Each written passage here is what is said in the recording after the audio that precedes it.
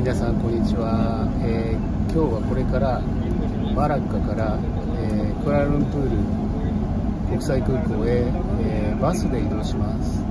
バスの中はこんな感じです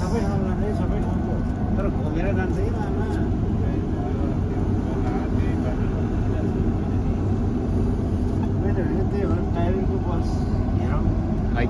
約2時間のバスの旅になります、えー、詳しくは、えー、概要欄をご覧ください。それからいいねボタンと、えー、チャンネル登録よろしくお願いします。